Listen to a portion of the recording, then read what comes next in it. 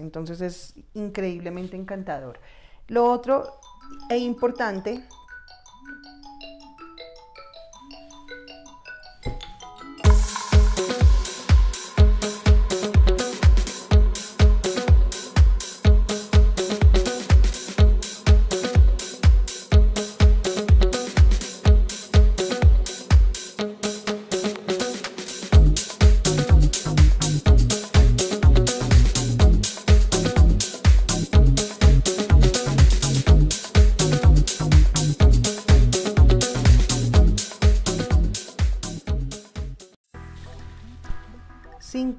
pasos eh, puntuales para tener tu huerto urbano.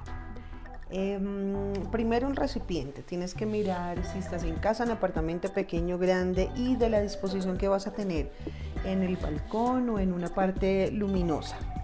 A veces en las cocinas se disponen algunas partes perfectas para poner dos o tres materitas. Lo otro es eso, ¿qué vas a poner? ¿Cuánto? Eh, que estés dispuesto, dices, vale, tengo este espacio, voy a poner un super cajón y para que me quepan, quiero meter aromáticas y quiero meter hortalizas, lechuga, espinaca, eh, acelga de colores, que es lo que más consumo, y una materia grande para tomates, ejemplo. Entonces ahí ya empiezas a, a tener la disposición para poder hacerlo. ¿Listo?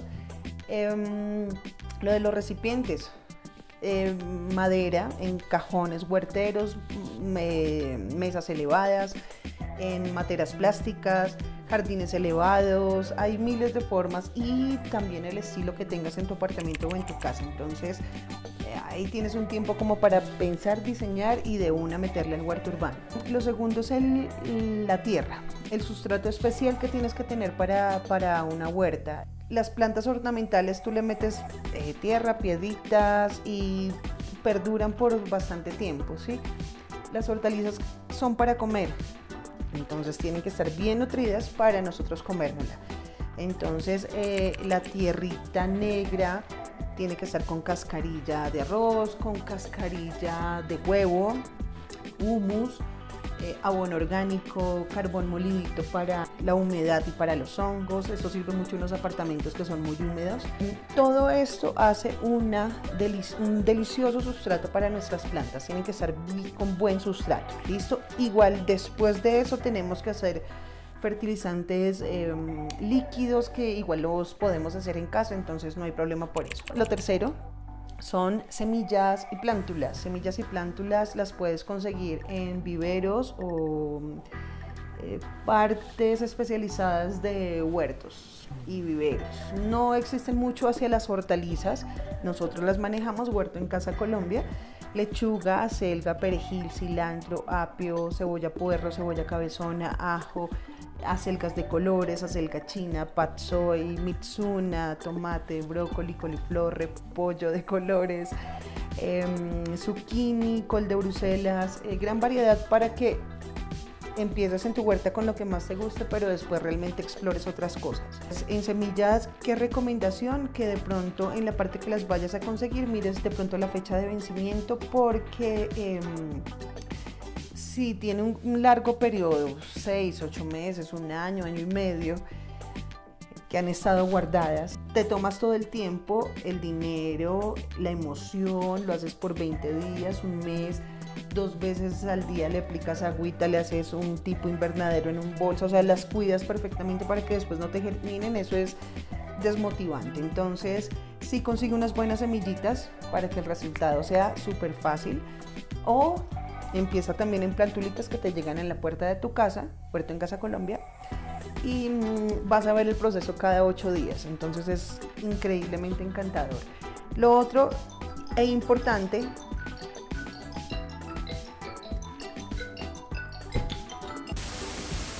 Vale, dos cositas importantes.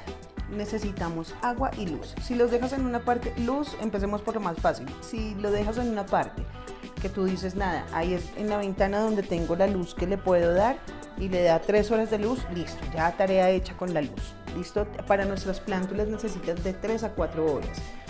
Si de pronto llevas tomate, llevas zucchini, brócoli, las grandecitas que necesitan más sol, se te va a alargar un poquito el periodo, pero te va a dar. Listo, y los días que tú veas que es que más sol manda esa planta, directamente al sol que le alcanza a dar 4 o 5 horas y eso te va a ayudar muchísimo. Listo, luz, listo. Con el agua es indispensable el juicio y la constancia de que sea todos los días. Si es un fin de semana que te vas de paseo, tienen que exagerar en, en el agua. Hay otros sistemas pequeños que son una botellita con un eh, de goteo. Ejemplo, acá en mis cultivos yo cojo y si es algún fin de semana como es frío, le aplico muchísima agua, muchísima y queda supremamente mojadito, perfecto y vuelvo y le aplico.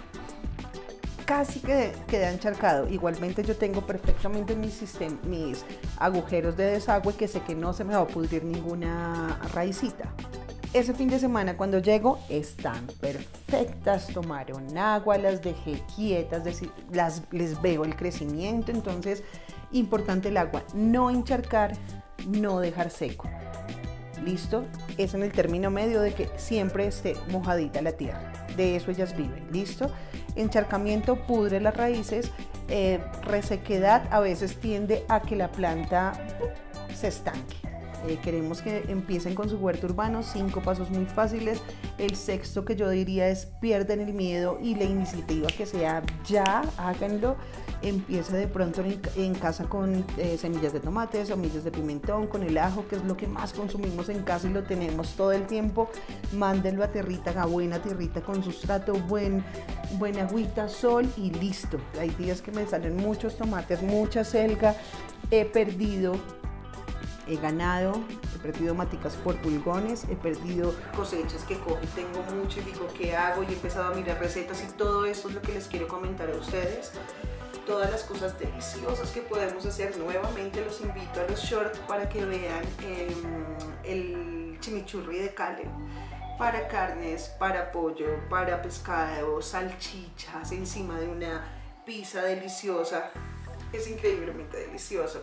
Solo me queda invitarlos a que les dé una manita arriba, a que dejen sus comentarios desde dónde nos ven.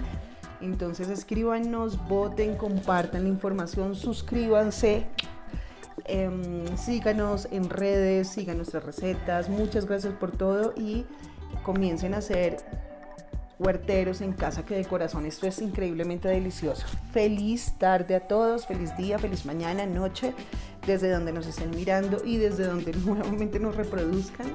Y soy Juanita. Nos vemos más adelante con más tips de huerto en casa. Feliz tarde. Chaito.